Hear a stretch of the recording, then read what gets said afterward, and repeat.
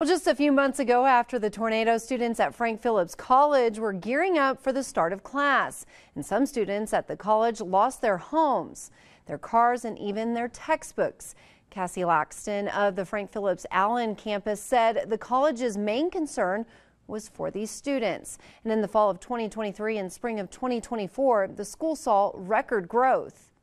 So I just think it took the whole community stepping up and helping each other, and, and not just at Frank Phillips College, but just overall in our community.